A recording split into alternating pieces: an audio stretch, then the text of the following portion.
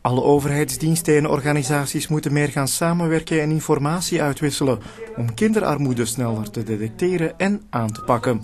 Want één kind op vijf leeft vandaag bijna in armoede. In Antwerpen is dat zelfs één op drie. De cijfers tonen duidelijk dat we een tandje moeten bijsteken.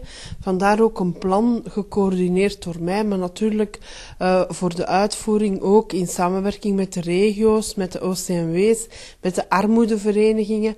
En als we kunnen nog met meer partners, dat we zeggen binnen de scholen, de crèches. Bij eenoudergezinnen is de kans op armoede het grootst.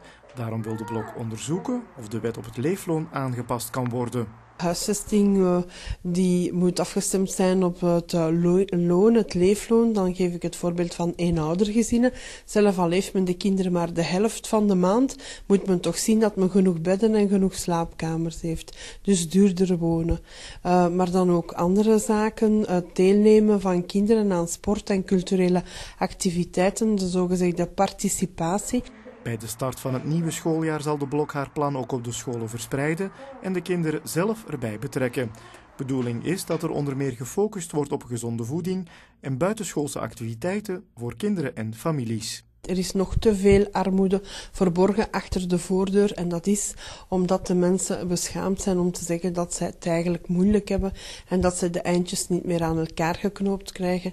Wel, ik zeg u, die mensen moeten geholpen worden, maar op de meest discrete manier. Het plan van de blok wordt volgende maandag goedgekeurd op de interministeriële conferentie.